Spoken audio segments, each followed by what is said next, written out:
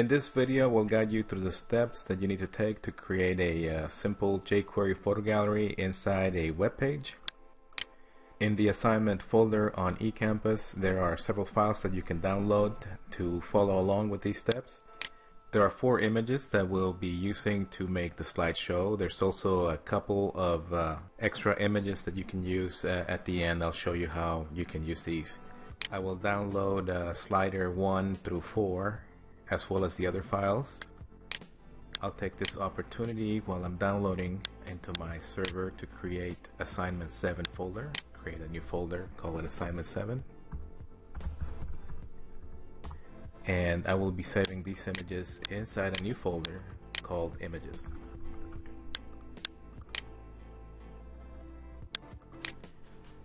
I will download the rest of the images and I will fast forward to that moment so I don't bore you with all this downloading.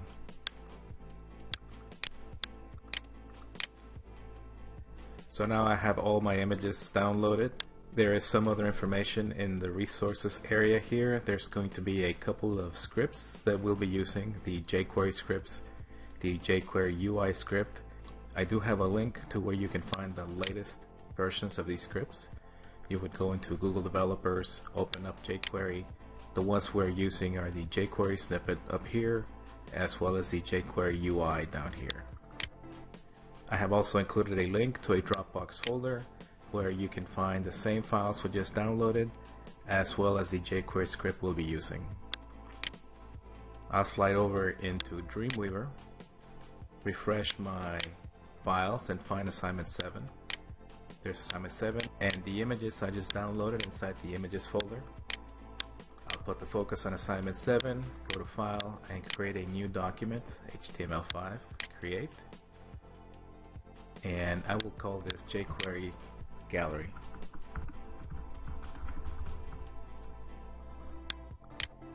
I'll switch into design mode and I will uh, minimize my files so that they're out of the way. And the first thing I'm going to do is to insert a division. At the insertion point is fine. I'll give this a class of slider. The whole jQuery gallery will be inside of this slider class. And what that means to you basically is that on any page, you can add this class, you can modify the size of the division and uh, use it in basically any page that you're designing. I'll begin by inserting the pictures that we downloaded. I'll go to insert and insert an image. I'll find slider 1. It's an image of some kind of barge. I didn't delete the dummy text, but I can do that right now. I'll just highlight and delete. I'll click on the image. It's 960 by 400. All of the images are this size. I'll go into the alt and give it a description just so that this is a valid HTML page. Call it barge on the river. I will insert the second image. Slider number two, just right here. I will select it to make it active. This is a picture of a bridge. Bridge over the river. I'm assuming this is a river or some kind of harbor. I will insert a third image. Insert image. Slider 3. Click on it. Give it a description. It's a yellow Mustang on a pier. And then I will insert one last image, number four. And it's a night view of the harbor.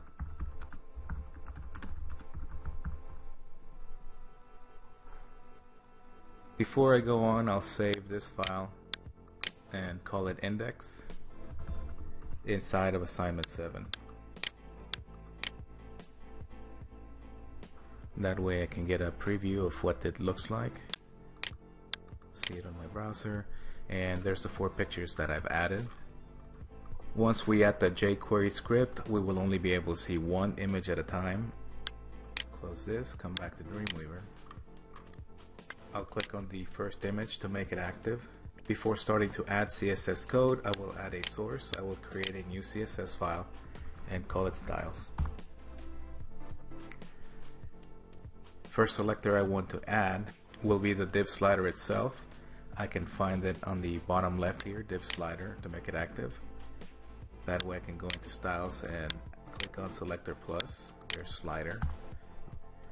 All of the files are 960 by 400 pixels. That's where I want to keep the width and height at.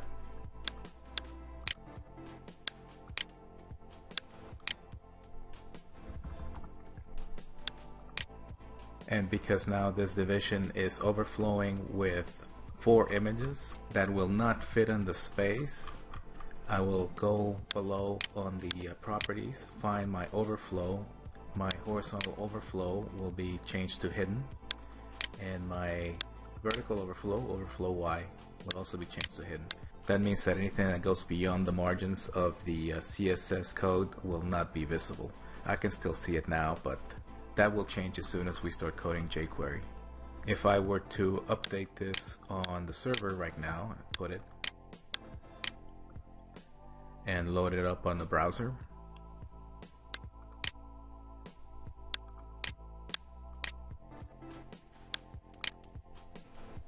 you will only be able to see what's inside of the uh, division. All four images are actually being displayed right now, but they are stacked one on top of the other. What we need to do next is to be able to shuffle them and display them one at a time. Coming back to Dreamweaver, I will add an additional style by selecting the image. Click on plus to add the slider image selector. This will once again be constrained to 960 by 400 px. 960 and 400 and because jQuery will be responsible of the display of the images I will set the display to be none. That is HTML will not be taking care of this. It will be the jQuery alone. If we were to look at this online at the moment let me put it and visit it again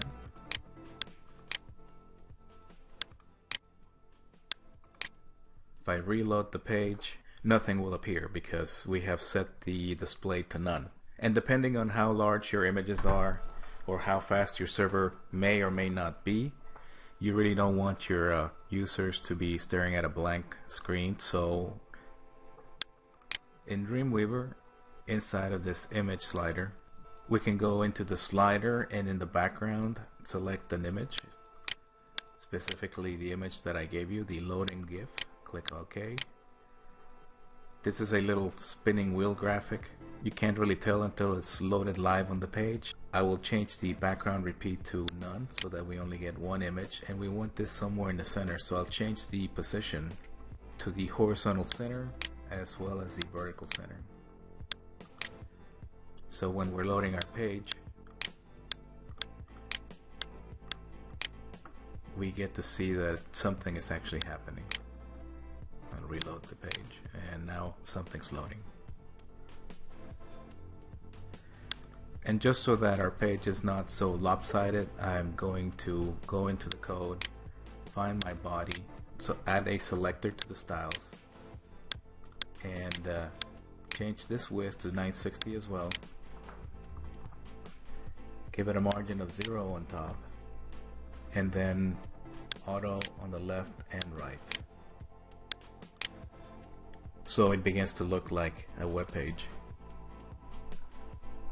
I'll go back into the assignment page and copy the first script. This is the jQuery script link. Select and copy. This code goes just before the head tag ends. I'll add a couple of spaces here and paste what I just copied. I'll add another space, go back into the page and copy the second line.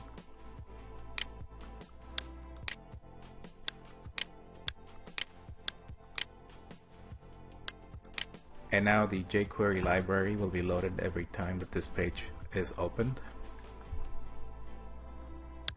I'll add a couple more spaces after that script. Go back to my Dropbox. I'll open up the jQuery script and copy this text. And we can place that right after the jQuery scripts. pasting. Once this is placed on the page, we need to tell jQuery that it needs to run.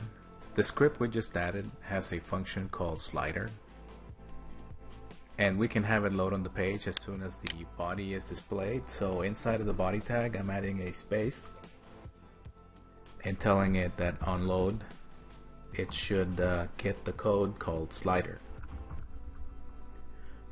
I'm typing in slider with a capital S. I'm opening and closing a couple of uh, parentheses adding a semicolon and closing the quote as soon as this web page displays the body tag, it will call upon the slider function. Inside the slider function, you'll see the jQuery instructions is basically going to be calling sliders by their IDs, starting with number 1 going through number 4. It will fade in the uh, image and then display it for 5500 milliseconds and then after that it will hide it by sliding to the left and then this loop will tell it to keep on going until it runs out of images and then reset the count to 1 and start again. And since this is looking for a slider with an ID of 1, we need to add that ID here on the images. I will find the image tag and tell it right after to give it an ID of 1. I'll type in ID equals open quote 1 space. I will do the same with the second one ID equals 2. The third one. And the fourth one.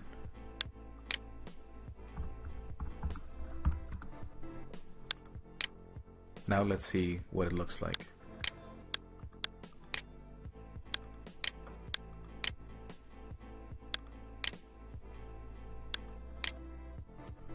There's the first image. The second one is loaded, sliding in. And then the third one, and so on and so forth. You can use your own images on this assignment. Make sure to change the properties if you're going to be using different sizes. You can either code this uh, class into another page or you can build a page around this. To give you a quick example, uh, in design view I will add a header and uh, put it after the start of the body tag so it puts it at the very top. I'll call it uh, page header. Click OK. I will add a selector. Here's my page header. I'll make it 960 pixels wide by say 100 I'll come back to the page header replace this with uh, some text. My jQuery image gallery. I'll change this to uh, heading 1 add some CSS to it as well. I'll give it a margin on the side of maybe 20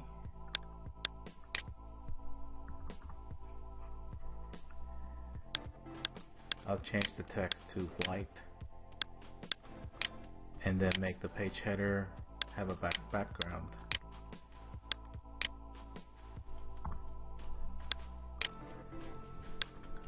After the slideshow, insert uh, before the end of the tag body, so it'll be at the bottom. Give it an ID of um, shadow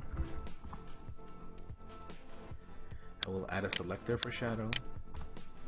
And in properties make it 50 pixels tall. I'll delete the dummy text. And give it a background image. Specifically the one that I've uploaded shadow.png click OK. I will put this on the server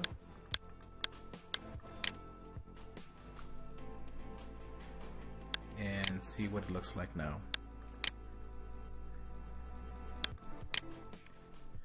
So there's my slideshow using jQuery. I've added a couple of elements to the page. I could keep on building, adding new images, adding another slideshow, adding real content, links, etc. There are plenty of options for flash galleries as well. jQuery is used uh, not only for slideshows, it's used for all kinds of things. However, it does so many things that really it, it would be a whole other class where you would need to learn all that. So good luck with this project. Let me know if you find any cool jQuery scripts out there that we could use in class.